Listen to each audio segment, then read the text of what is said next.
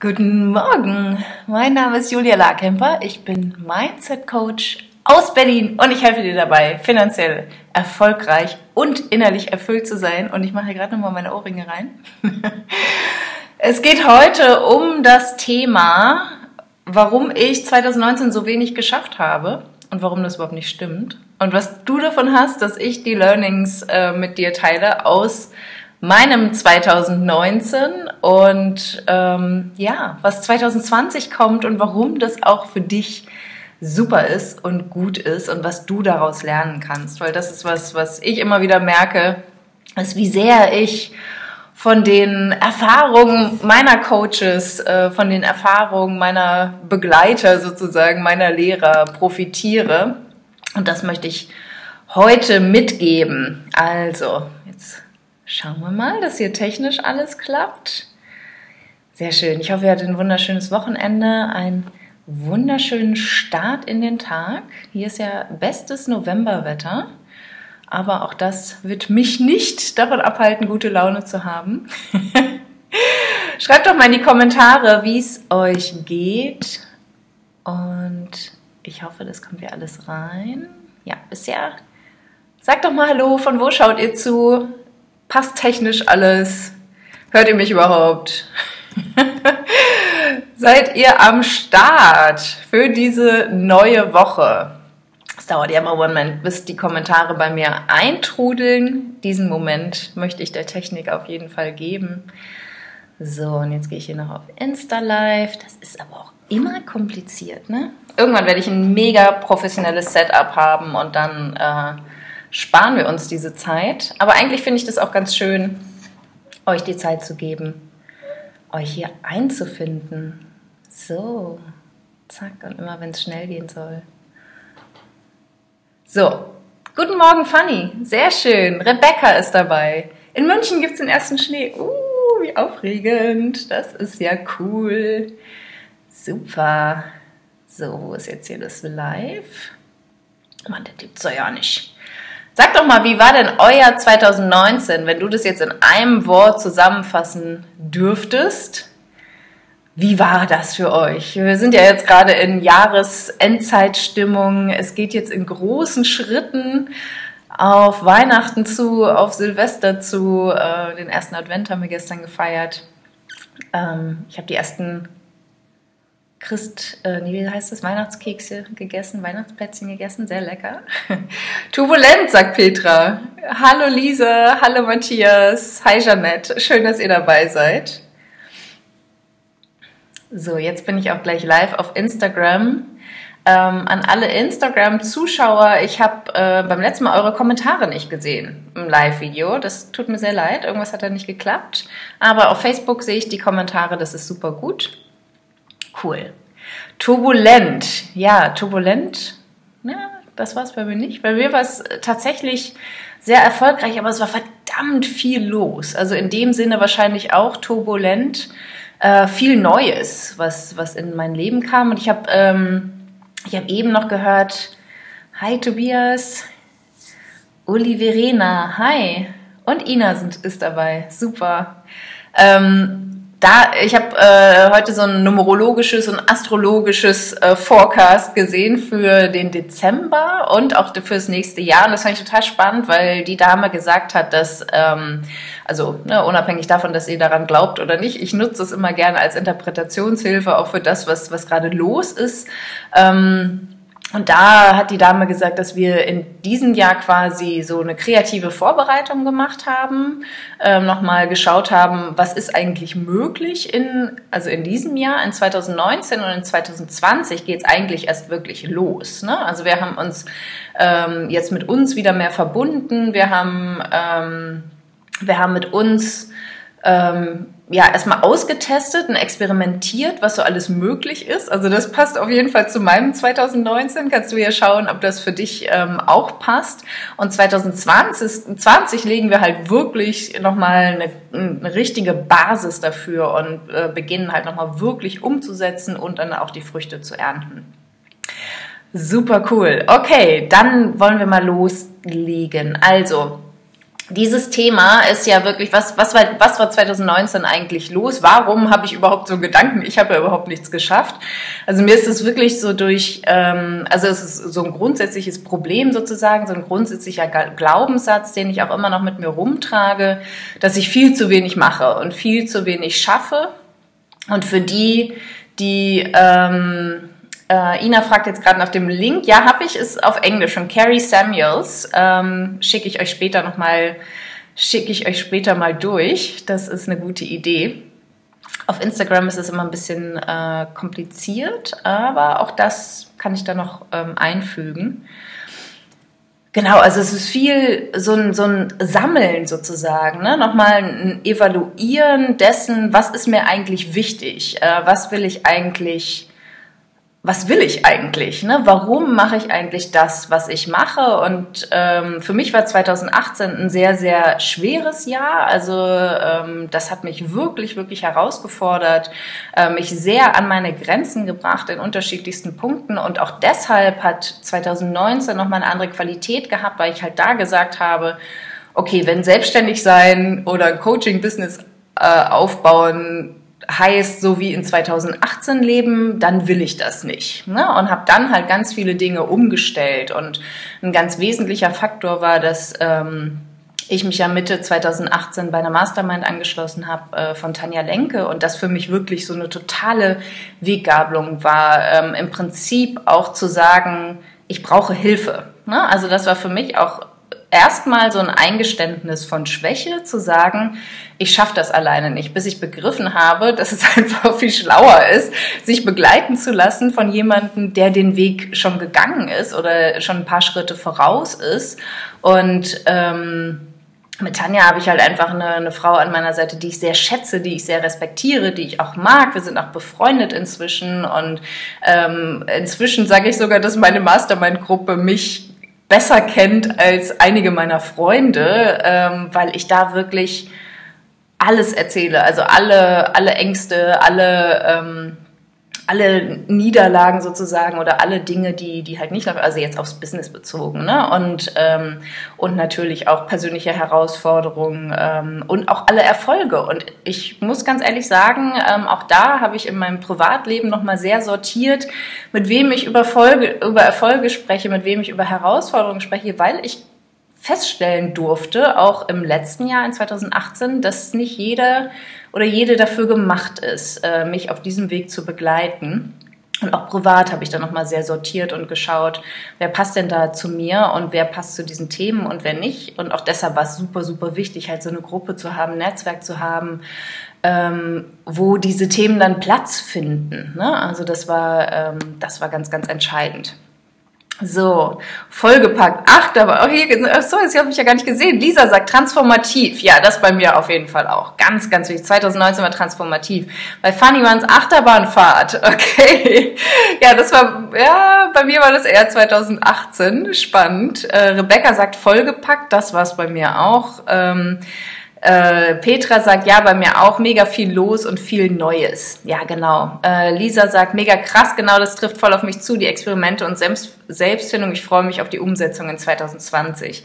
Ja, und ich denke, also ich sage mir immer, es wird eh immer besser. Ne? Also dieses, äh, ich sage mir jedes Jahr, das wird das beste Jahr, was ich je hatte. In 2018 hat es nicht geklappt, ähm, 2019 auf jeden Fall. Ähm, und 2020 habe ich echt ein richtig, richtig gutes Gefühl. Also die Astrologen sagen, es wird äh, viel hoch und runter gehen, aber also die Achterbahnfahrt wird weitergehen, aber ich weiß, ich habe inzwischen und das habe ich auch in 2019 gelernt. Das ist ein ganz, ganz ähm, wichtiges Learning, dass ich die Achterbahnfahrt, auch wenn sie mir Angst macht, auch wenn das ein bisschen schwungvoller ist, als ich das eigentlich so beabsichtigt habe oder ich eingeschätzt habe, dass ich es immer mehr genießen kann und eigentlich sofort sage so, hey, lass uns nochmal fahren, auch wenn ich zwischendurch echt Schiss habe. Ähm, Julia sagt Fokus. Ja, ganz wichtig, genau.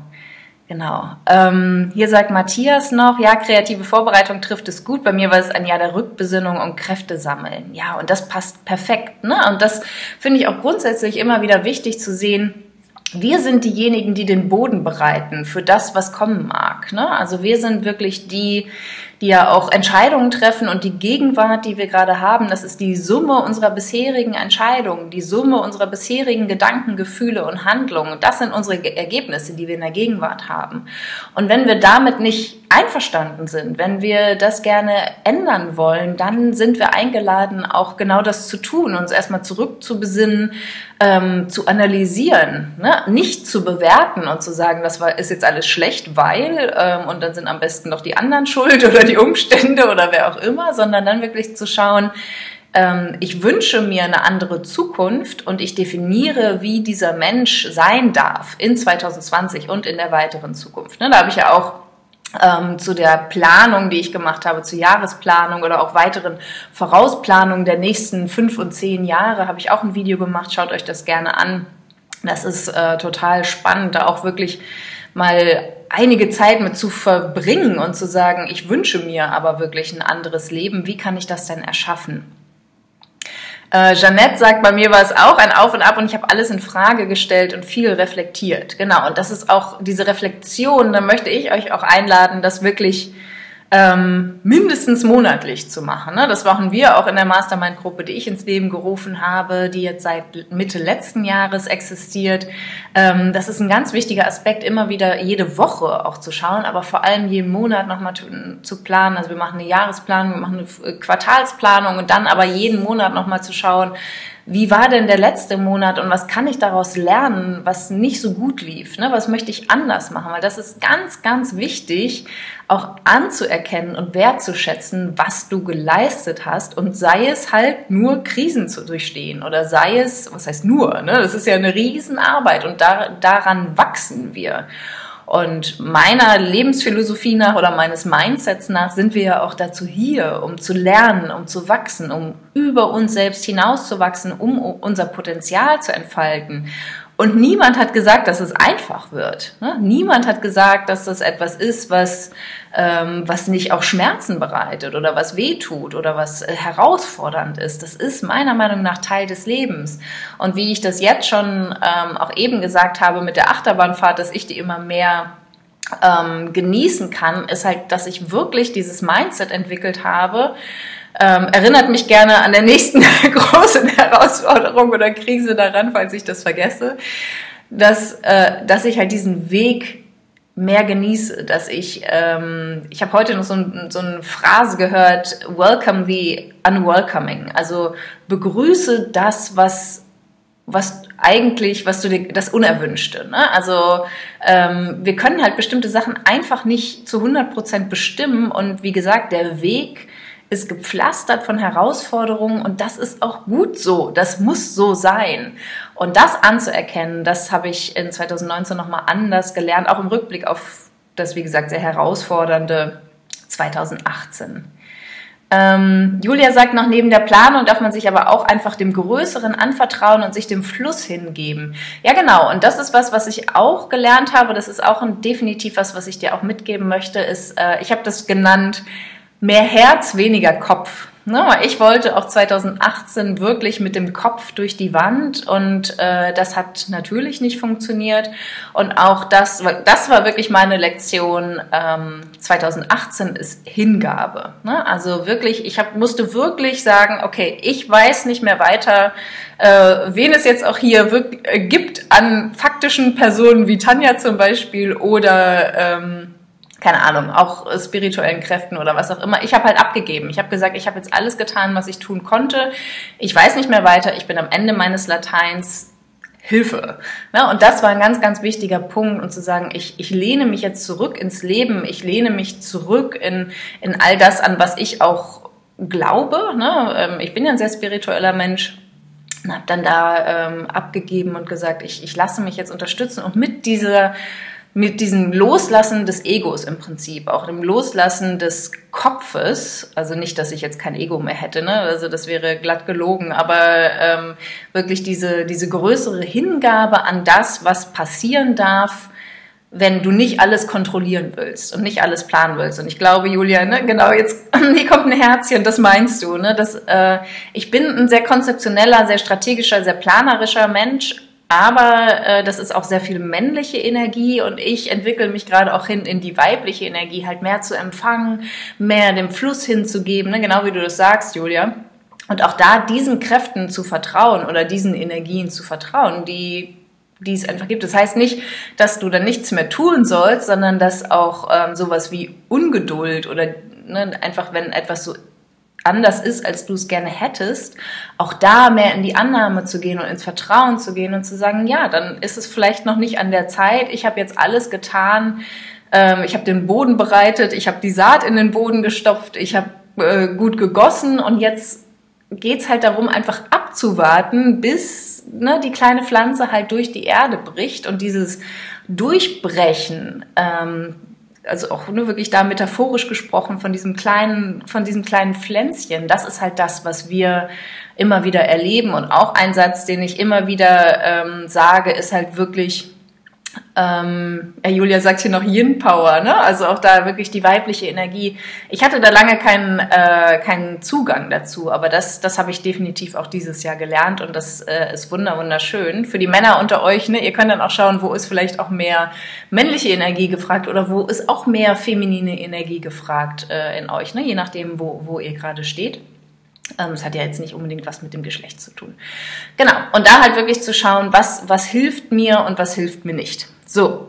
Verrückt, sagt Fanny. Ähm, das war genau, das wird dieses Jahr mein Hauptthema zu erfahren, was ich wirklich, wirklich will.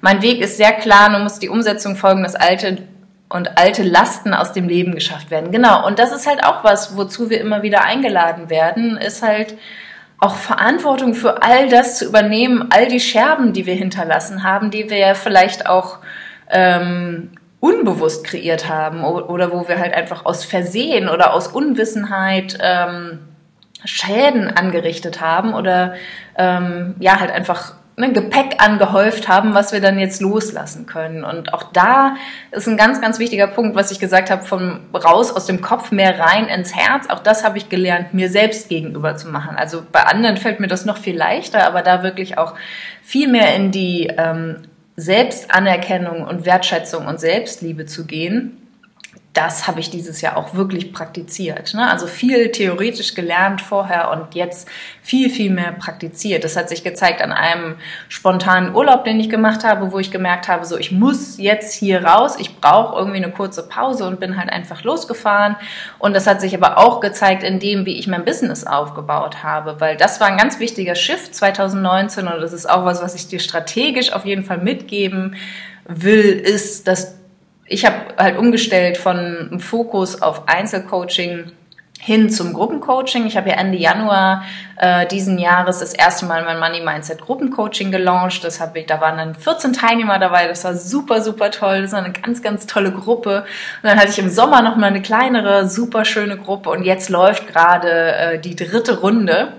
Ich habe mega viel gelauncht und auch deshalb war ich so verwundert, dass ich wirklich dachte so, wow, ähm, warum denke ich denn eigentlich, ich habe so wenig erreicht? Ne? Und das war aber tatsächlich so ein altes Verhaltensmuster, so ein altes Denkmuster, was da nochmal hochgeploppt ist. Ähm, wo ich gemerkt habe, also es war dann auch ganz schnell wieder vorbei, aber das wollte ich auf jeden Fall auch mit dir teilen, dass selbst bei jemandem, der halt so viel Mindset-Arbeit macht wie ich, also wo ich halt wirklich fast jeden Tag daran arbeite, bewusst auf meine Gedanken zu schauen, dass es auch normal ist, dass diese Gedanken kommen und auch ich nochmal für einen Moment darauf einsteige und denke so, krass, das, vielleicht war es doch kein gutes Jahr, das 2019, ne? Und mich dann nochmal hinzusetzen und zu sagen, nee, was sind denn was sind denn für wichtige Learnings dabei geblieben, äh, dabei gewesen und was, was ist etwas, was ich auch dir unbedingt mitgeben möchte?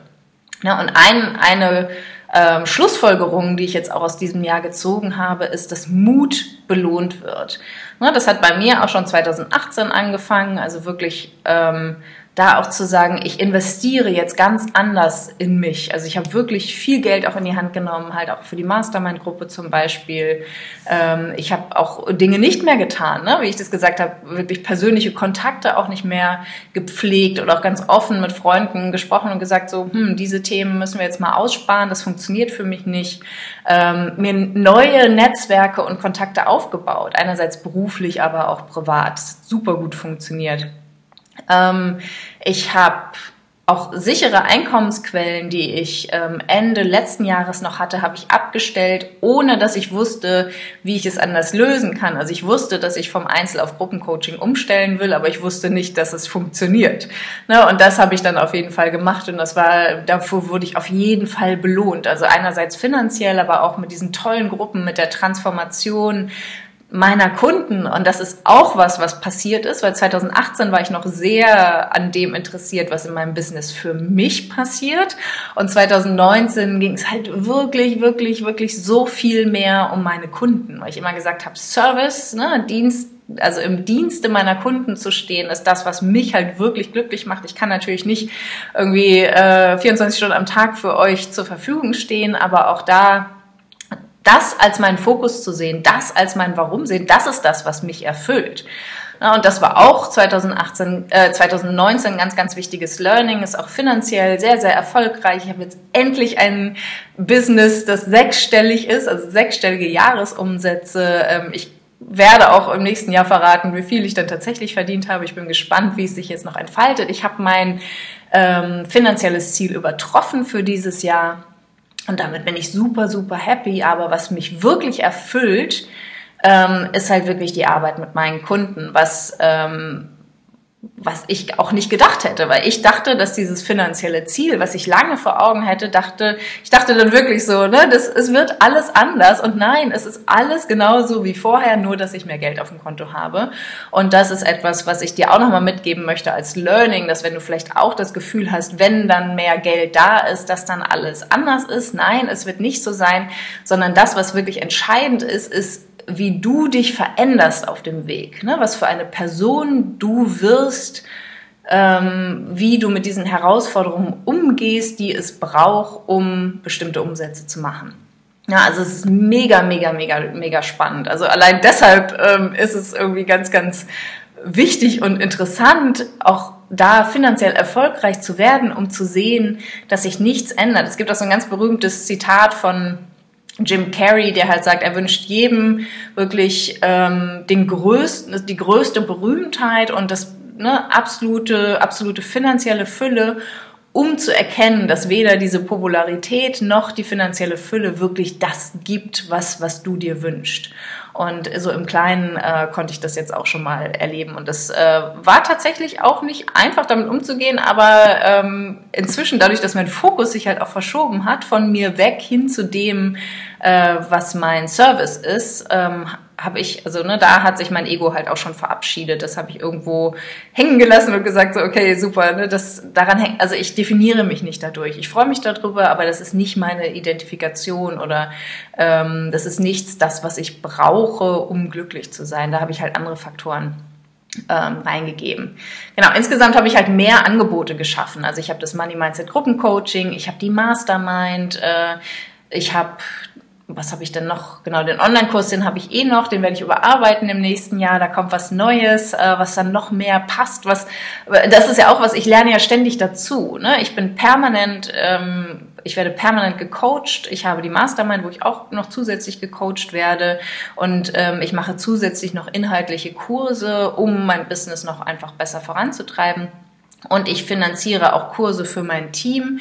Also das habe ich inzwischen auch äh, gemacht. Das ist ein ganz, ganz wichtiges Learning auch für dich. Ne? Gib ab, mach nicht alles selbst. Sobald du an dem Punkt bist, wo du sagst, ähm, ich habe ein paar Euro 50 im, im Monat übrig, um einfache Dinge abzugeben und sei es nur die Buchhaltung oder vielleicht auch ne, das Einkaufen oder äh, Putzen zu Hause. Also delegiere wirklich alles das, was nicht deiner Zone des, des Genius entspricht und ähm, konzentriere dich auf das, was wirklich wichtig ist für dich persönlich und für dein Business. Genau. Also, Outsourcing ist auch nicht leicht, das lerne ich immer noch. Also ich finde es immer noch schwer abzugeben, aber es ist super, super wichtig. Und ein ganz weiteres wichtiges Learning ist halt die Verbindlichkeit mir selbst gegenüber zu steigern, die Selbstliebe zu steigern. Also was wir auch eingangs gesprochen haben, ne? mehr Herz, nicht nur Kopf. Und auch generell, auch da weniger Ausreden, mehr Ehrlichkeit mir selbst gegenüber. Also einerseits bei Dingen, die ich vielleicht nicht gemacht habe, aber auch im Sinne der Anerkennung und Wertschätzung meiner Arbeit. Ne? Und jetzt geht's mal noch kurz in 2020. Schreib du doch mal, wie möchtest du denn welche Intention hast du für 2020? Wie möchtest du sein in 2020? Was möchtest du erleben in 2020? Also wenn wir jetzt davon ausgehen, ähm, ne, dass, dass du jetzt wirklich experimentiert hast und ähm, Dinge versucht hast in diesem Jahr und dich mehr verbunden hast mit dir, was darf sich denn 2020 entfalten? Bei mir ist das weiter die Kombination aus Gruppencoaching und Einzelcoaching. Das ist eine mega Kraft, die werde ich als Teilnehmerin weiter nutzen und die werde ich auch weiterhin anbieten. Da startet Anfang Januar meine Mastermind-Gruppe. Also wenn du daran Interesse hast, ich poste noch den Link ähm, zur Warteliste. Das ist ein Investment, definitiv. Äh, das ist zeitlich, energetisch, auch finanziell ein Investment. Ich für mich kann nur sagen, es lohnt sich total. Ne? Schau halt einfach drauf, ob das jetzt zu dir passt. Ähm, ich werde Ende Februar ein Money Mindset ähm, Workshop geben, also einen Tag in Berlin, wo wir einen ganzen Tag am Money Mindset arbeiten werden, wo wir Hot Seats machen werden, wo wir Blockaden lösen werden. Das ist ein Angebot, das gab es so noch nie und das wird es jetzt einmalig geben als Testballon. Und da werde ich mal schauen, wie das funktioniert, wie das ankommt, mir Feedback einholen. Auch das ist was, was ich halt 2019 viel gemacht habe, einfach Dinge auszuprobieren und zu machen und zu schauen, was kommt dann zurück und auch zu sehen, was funktioniert, was funktioniert nicht so gut und damit wirklich äh, ähm, ja, auch viel mehr am Kunden zu sein ne? und noch viel mehr zuzuhören und zu sagen, was braucht ihr denn eigentlich gerade? Wie kann ich euch am besten unterstützen? Wie kann ich dich unterstützen, dass du dahin kommst, wo du hin willst? Dann im März wird nochmal mein Money Mindset Gruppencoaching starten. Das werde ich nochmal überarbeiten, auch auf Basis dessen, was ich gelernt habe.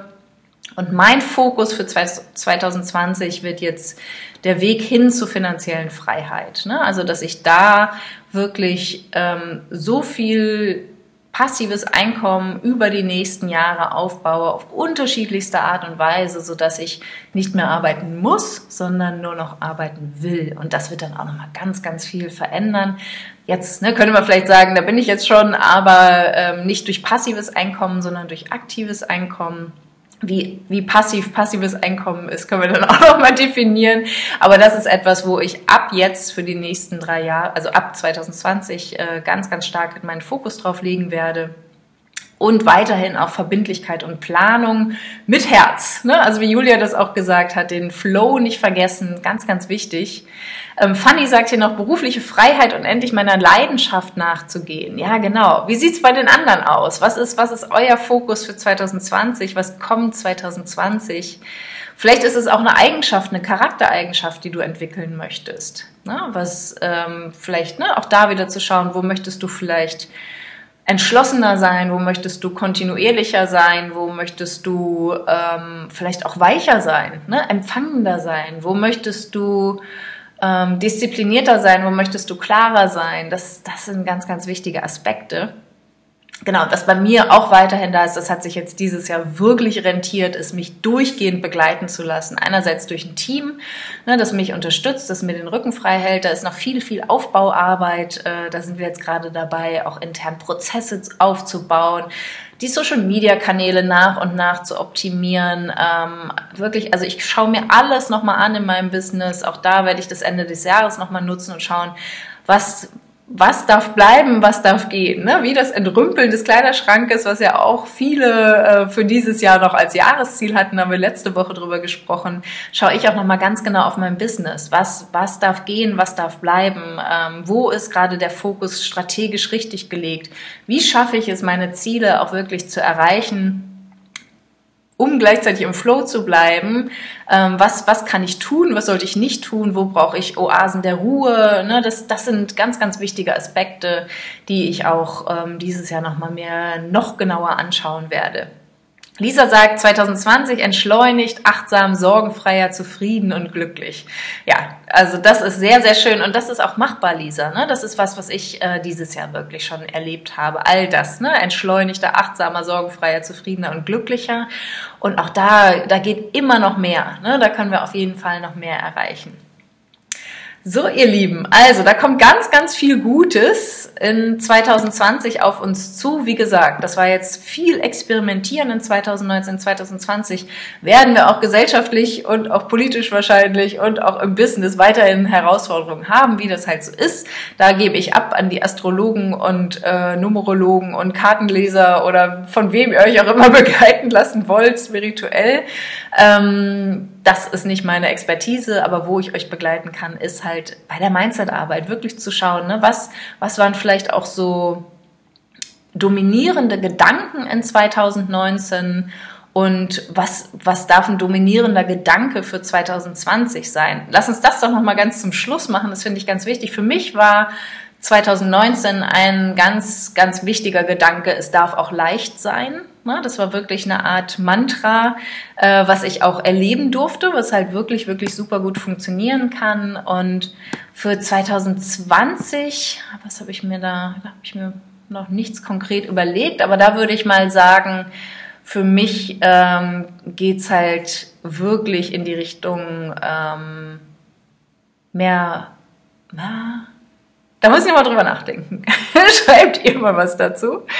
Ähm, Jeanette sagt, ich möchte strukturierter sein, mir weitere Unterstützung holen, fokussieren und dann, Rebecca sagt, fokussieren und dann Energien auf das bündeln, was mir wichtig ist und dann mehr Zeit auch für Entspannung und mich selbst zu haben. Ja, Genau, also 2020 würde ich auch sagen, für mich geht es ums Optimieren. Also wirklich ähm, dranbleiben, optimieren und die finanzielle Freiheit im Fokus zu haben. Die wird nächstes Jahr wahrscheinlich noch nicht da sein, aber ne, daran zu arbeiten und auch da bin ich halt jemand. Ich habe immer gesagt, ich bin keine Sprinterin, war ich noch nie, auch wenn ich im Sprint schneller werde, aber ähm, für mich, ich bin hier, um Marathon zu laufen sozusagen. Und äh, das kann ich euch auch nur mitgeben. Also erwartet jetzt keine Schnellschussergebnisse, sondern schaut wirklich, wo wollt ihr langfristig hin und geht jeden Tag einen Schritt darauf zu. Gelassener sein, sagte Ina. Super schön. Genau. Dann schickt mir ein Herzchen, wenn dir das gefallen hat, wenn dich das inspiriert hat. Ich teile jetzt hier auf Facebook auf jeden Fall noch den Link zu Carrie und dem Ausblick so. Da könnt ihr gleich mal gucken, ähm, ob euch das, was sie über den Dezember sagt, ob euch das auch schmeckt sozusagen. Also ich finde ihre Forecast ganz schön. Und wie gesagt, ne, wenn du da die Spiritualität mitbringst, schau gerne drauf. Oh, jetzt geht's hier schon gleich los.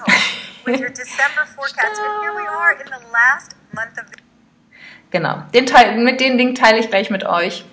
Und dann wünsche ich dir eine wunderschöne Woche, einen wunderschönen Tag und ähm, schau mal, wie du 2019 noch für dich mit welche Learnings du mitnehmen möchtest, ne? Also dass du auch wirklich für dich wertschätzt und anerkennst, was du getan hast, was du nicht getan hast, was du geleistet hast.